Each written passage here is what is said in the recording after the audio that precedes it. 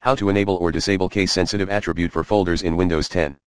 FYI, if you have used the Windows subsystem for Linux, you're probably aware that it allows you to treat your Windows file systems, mounted under slash mnt slash c, slash mnt slash d, etc., as case-sensitive. This means, among other things, that you can create files whose names differ only by case, e.g. foo.txt and foo.txt. However, using those files in Windows was not really possible. Since Windows applications treat the file system as case insensitive, they cannot distinguish between files whose names only differ in case.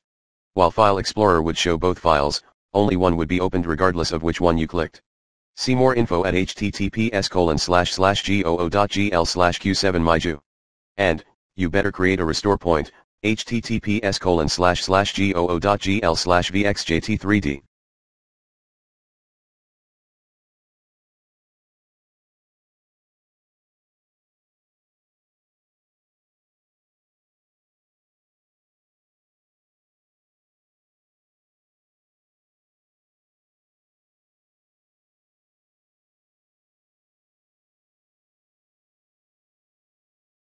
How to enable or disable case-sensitive attribute for folders in Windows 10.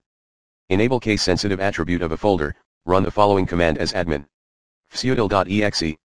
File set case-sensitive info full underscore path underscore of underscore folder enable hint, replace full underscore path underscore of underscore folder with your own disk name or path, such as d. Refer to the below one, fsutil.exe. File set case-sensitive info d enable if the folder path has a space in it, fsutil.exe.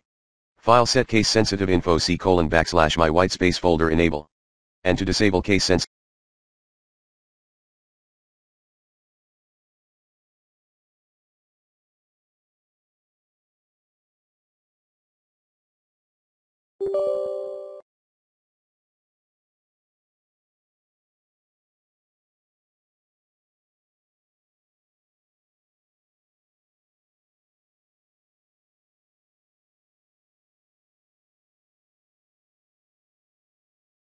Attribute of a folder, run the following command as admin. fsutil.exe.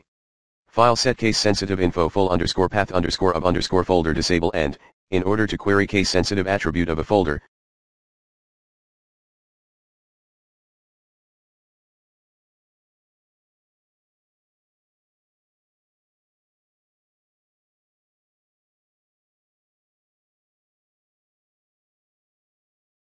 Check if a directory is case-sensitive fsutil.exe.